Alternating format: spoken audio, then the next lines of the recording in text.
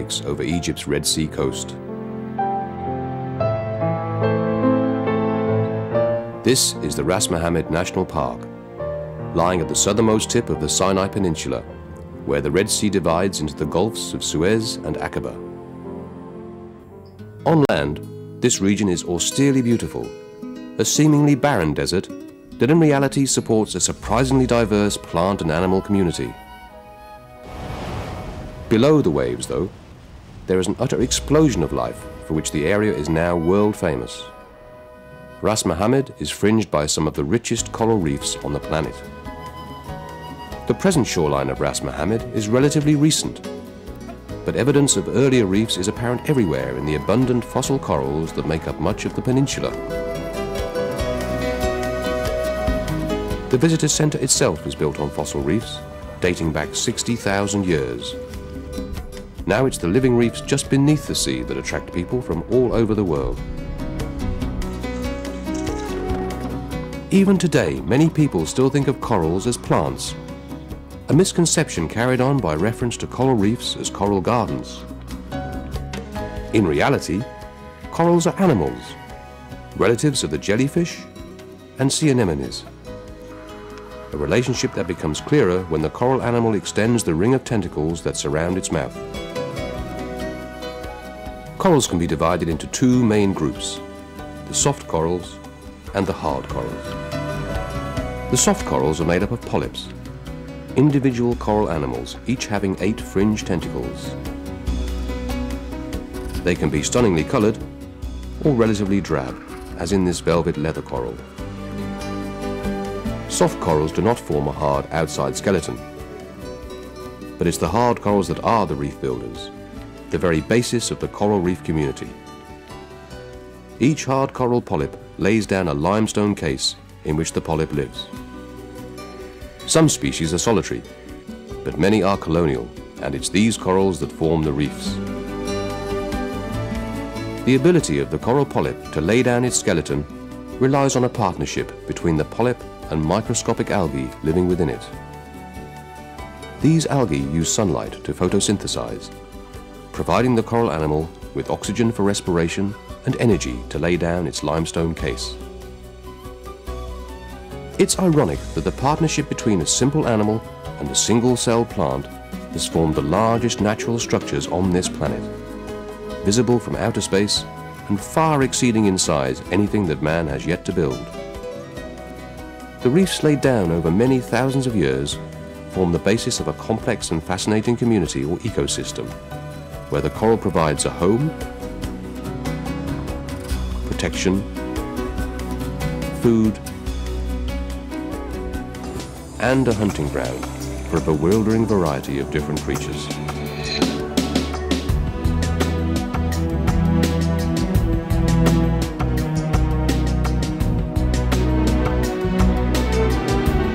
What may look like feathers are actually the tentacles of a fan worm, sifting food from the sea. It reacts to danger instantly. Now you see it, now you don't. Some, such as this iridescent clam, literally live in the coral. Many are stunningly coloured or patterned, like these bannerfish and this emperor angelfish. And there's no need to ask how this Picasso fish got its name. Parrotfish too are well named. It was once thought they used their beak to feed on the coral itself. Now it's known that they scrape away at the algae that grows on the polyp. The fish are not the only brilliantly coloured denizens of the reef. This nudibranch, a sort of psychedelic submarine slug, may only be a few centimetres long, but there's no mistaking its pattern. Here saying, don't touch, I'm poisonous. This flatworm may well be sending the same message. While we've seen that bright colours and patterns can help identify the fish, things are complicated by the fact that male, female and young fish of any one species often differ. This male Anthias stands out amongst the smaller, less elaborately finned females. In these jacks, during courtship, the male and female each change colour. The male here in black. This snapper is a juvenile. As an adult, it will lose its bold pattern. For many smaller fish, the reef provides not only food, but also protection. These blue-green chromis disappear amongst the coral at the slightest hint of danger. Here they stick close to the reef as the jacks, for whom they could be dinner, cruise by. Some, like these glassfish, find safety in numbers. This variegated lizardfish relies on cryptic coloration for concealment. Some take their camouflage very seriously indeed. This is a scorpionfish. And this, the master, is the deadly stonefish. The electric ray is difficult enough to see in open water, but it also packs a punch. Two kidney-shaped organs, one behind each eye, produce an electric charge capable of stunning the small fish on which it preys. Even more dangerous, since once hidden beneath the sand, it becomes almost invisible.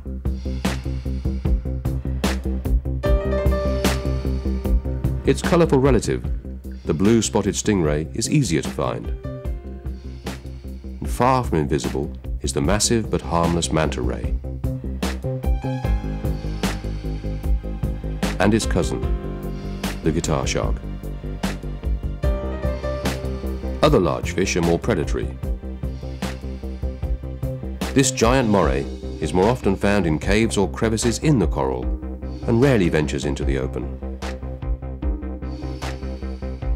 Barracudas can often be found off Shark Reef, and out in the blue there's always the chance of a shark, and if you're very lucky, a scalloped hammerhead.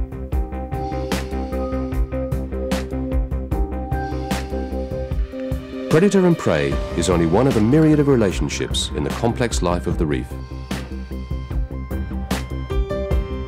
Other species work together.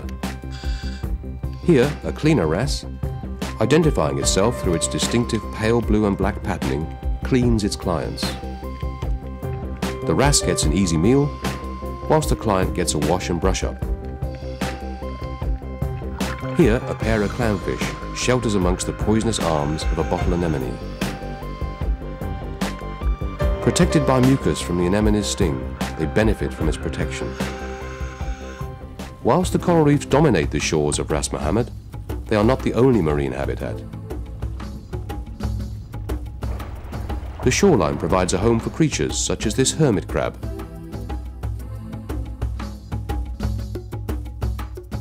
And these ghost crabs.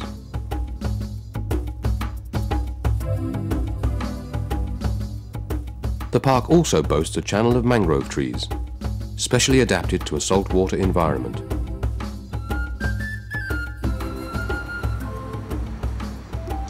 The underwater forest, created by their roots, is a vital nursery for the young of many fish and invertebrates.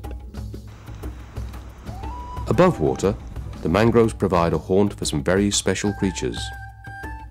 These two birds, one black and one white, are actually two colour phases of one species, the western reef heron. And this green-backed heron is right at the northernmost limit of its African range. Here, a juvenile hunts down small crustaceans along the shore. Other birds are after bigger fry. The osprey breeds in the park Armed with sharp talons and with the scales on the underside of its feet roughened to cope with slippery prey, the osprey patrols the reef in search of fish. This time, it's unlucky. Twice a year, in spring and autumn, these resident birds are joined by thousands of migrants heading to and from their more northerly breeding grounds. The larger birds, like these magnificent white storks, rely on rising currents of hot air over the land to maintain their height, channeling them along the coast. At Ras Mohamed, the sea crossing narrows across the Gulf of Suez, and birds such as the storks or these steppe buzzards stream through in their hundreds of thousands, once again highlighting the area's international significance. The smaller birds pass through on a broader front. During migration, every patch of bush or acacia grove can teem with birds, like these red-backed shrikes, the female on the left. Or like this stunning male masked shrike. Outside of migration times, the desert wildlife is harder to find. These animals have had to evolve strategies to allow them to inhabit a hostile environment. Few are active by day, this Bosc's lizard being one. Most avoid the furnace-like heat of the day. Some creatures are so well camouflaged, it takes a very sharp eye to find them, even if they are there. These are fan-footed geckos, but you really have to wait until they move to be sure. Likewise with the sand viper. Literally tasting the air with its tongue, it seeks out its prey, pursuing it over the loose sand with a distinctive motion, known as sidewinding.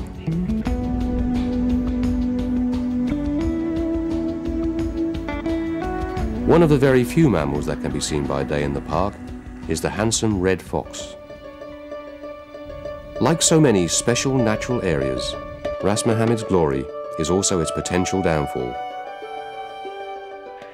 While some threats are natural, like this crown of thorn starfish feasting on the living reef,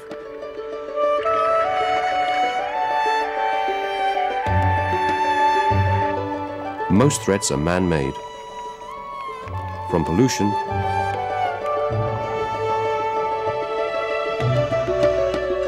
to development.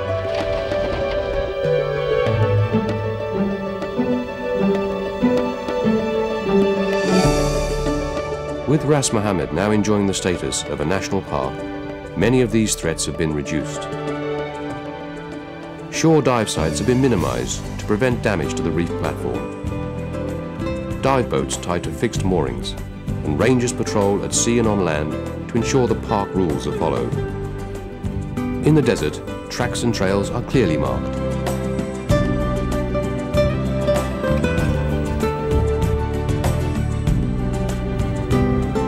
As visitors to the park, you can all play a role in preserving its natural beauty. On land, stay on the trails.